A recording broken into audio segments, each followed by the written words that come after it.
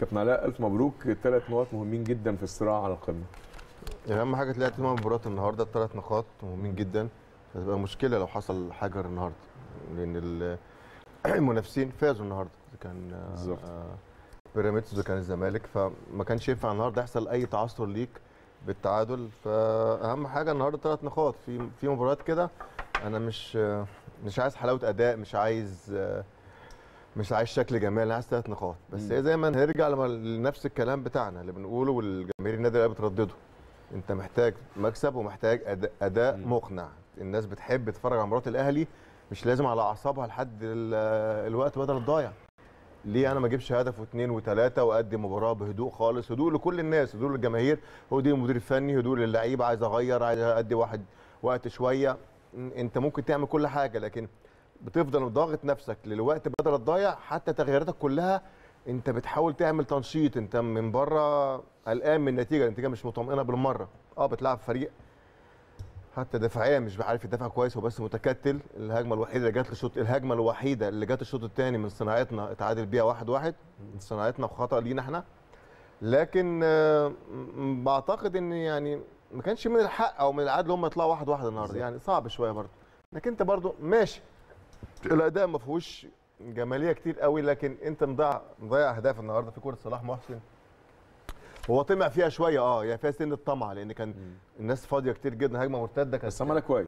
أنا ما أنا لسه ما كملتش كلامي. اتفضل يا هو طمع فيها شوية لكن مع تراجع مدافعين المحلة ايمن لقى نفسه قريب قوي لحارس المرمى. هو حطها طبعا بطن رجله بليسنج حلوة بجد حلوة. يعني هو لو لو كانت لو بعدت شوية عن كده كنا كلنا هنلومه لكن هي ممكن تقول هنا يعني حظ سيء. آه، في كمان تسديدة دي بتاعت السوليه في تسديدة كمان بتاعت آه، رامي ربيعة. رامي ربيعة دي أقربهم. يعني الجول مطلعها على فكرة حارس مرمى اتعامل معاها خطأ جدا خبطت وجت في العارضة. فال يعني الكور دي كلها تديك مؤشر يا أيمن. يعني في كرة آه، رامي وفي كرة كمان بالهيد كمان الحارس طلعها حلو قوي. لكن كرة رامي لا كان هو محظوظ فيها. يعني كل دي مؤشرات إن أنت يعني صعب المباراه تطلع واحد واحد صعب يعني بجد هيبقى كده صعب جدا. مم. إلى جانب إن ماشي أنا فاكر متفق مع ناس كتير قوي أهلاوية إن الأداء م- م- ما فيهوش حلاوة أداء مش حلاوة الأداء مش موجودة حتى لو على فترات.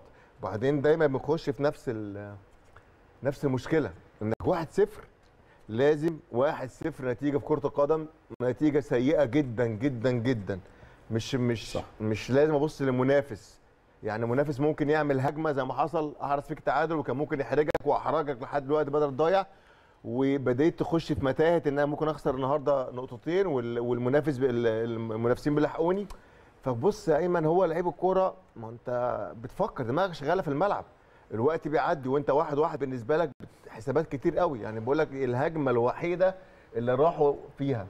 دي كان تحرك طبعا شريف. يعني لعب- لعيبتنا كلها بتتحرك بعد ما تحس بال- بالخطر. هو كان ال- الهجمة بالنسبة للهدف المحله كان خطأ. اللي كنا خطأ من قبل استلام من عمرو السوليه معانا. ماشي على فكرة مش هجمة المحل. لا لا لا. هو خطأ مننا. هم قدروا يرجعوا للماتش بخطأ مننا. هي خطأ مننا وكان بس قريبين لل- لل- لل- للمرمى اتعادلوا. أيوة. انت بعد التعادل بت- ابتديت تقول لا ما ينفعش. بقيت تضغط هجوميا أكتر تبدأ تتحرك أكتر تبدأ تطمع شوية في المباراة تبدأ محمد شريف بيتحرك بالعرض أكتر.